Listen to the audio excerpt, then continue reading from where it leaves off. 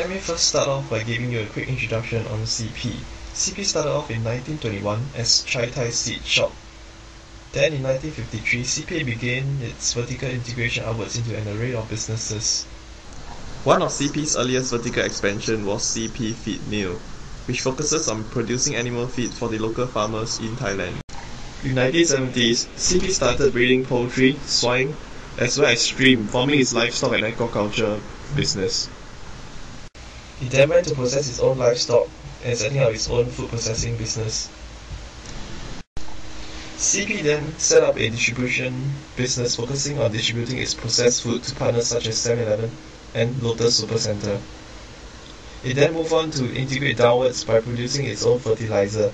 Horizontally, CP expanded into an array of non-core businesses such as telecommunication, petrochemicals, real estate, as well as automotive.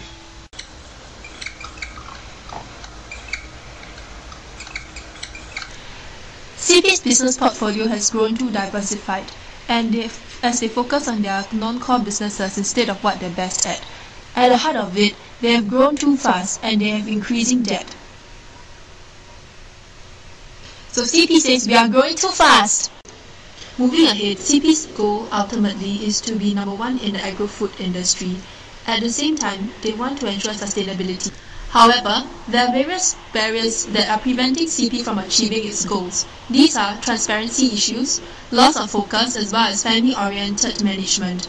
Now let's take a look closely at the issue. Through stakeholders analysis, there are two main parties involved, the shareholders and the CP family. Now let's take a look at the shareholders first. They are concerned with where are all their money going. At the same time, they also want to know where their dividends are. So they want transparency because it is important for them to know where their money is going. At the same time, they want focused strategy so that synergies there will be synergies between businesses and risks are lowered. Thirdly, they are concerned with having capable management that can help them reap returns on investments. Ultimately, they want short-term returns. On the other hand, let's look at CP's family. So CP's family current objective seems to be seizing on all opportunities and on growth. So firstly, they want their finances to be managed by their families instead of outsiders. At the same time, they believe in seizing all opportunities including extensive expansions into non-core business. Lastly, the family-oriented management meant that everyone in the family was given managerial positions and expanding into various businesses. However, the business has outgrown the family and the family has outgrown the business.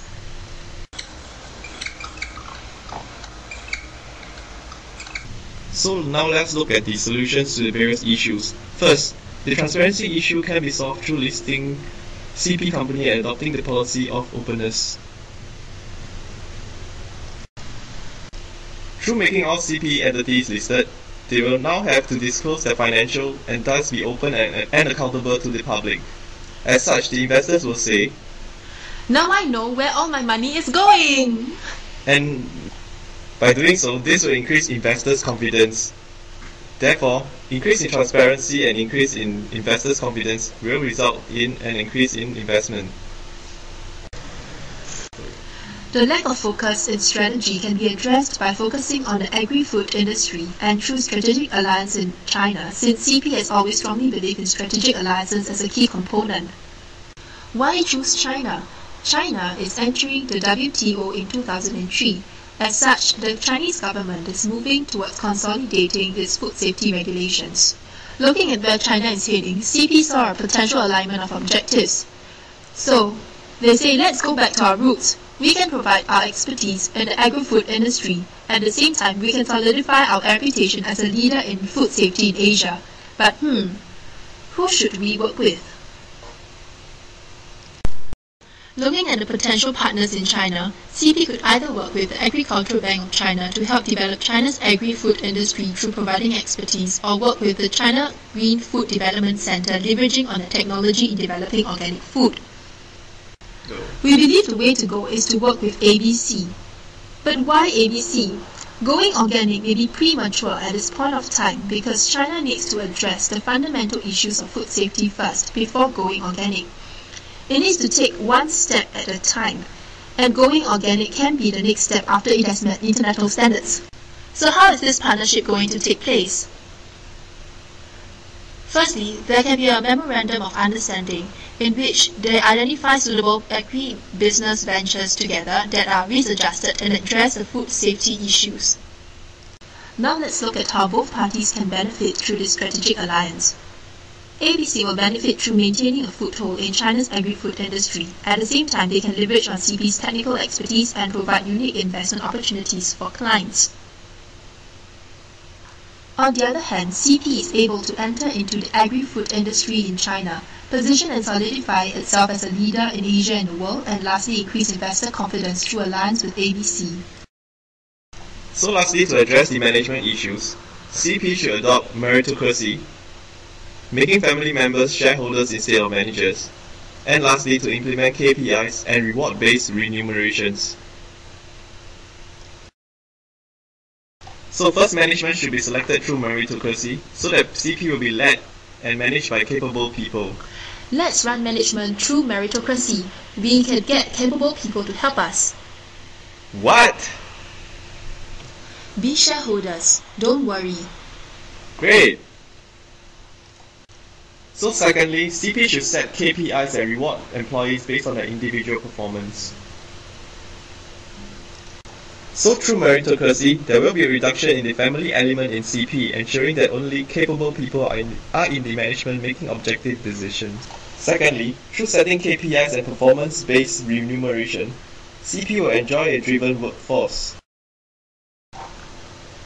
I feel alive. So all in all, with a reduction in family element and a driven workforce, CP will, will be ready for future global expansion and increase in investors' confidence, thus achieving its objective to be number one in agri-food industry.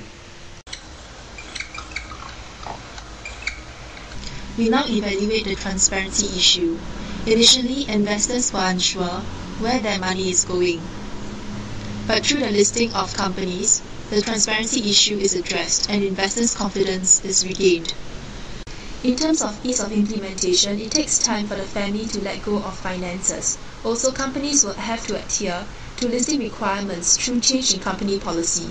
Next is the issue of focus. Initially, CP was not focused, and this can be resolved through focusing on CP's core business, which is agri-food, and at the same time, food safety is also addressed through strategic alliance in China with ABC. As for the ease of implementation, it is easy for CP to focus on its core business since it is already shutting down some of its non-core businesses. At the same time, it, it possesses high level of expertise in the agri-food industry. Next, forming a strategic alliance with ABC will not be difficult since a win-win situation is created. CP can position itself as a leader in food safety in Asia through helping China solve its food safety issues and ABC will, will be able to have new investment products to offer to its clients. Lastly, the issue of family-oriented management. Initially, CP was run by the family. This can be mitigated through the implementation of meritocracy to reduce the family element to ensure objective decisions are made through a capable management.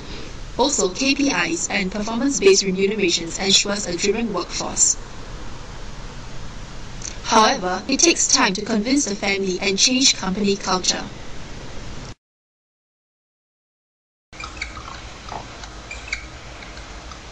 So in conclusion, with transparency, as well as a focused strategy, and lastly objective management, CP will be able to achieve its goal as becoming number one in the agro-food industry and poised to expand into global markets.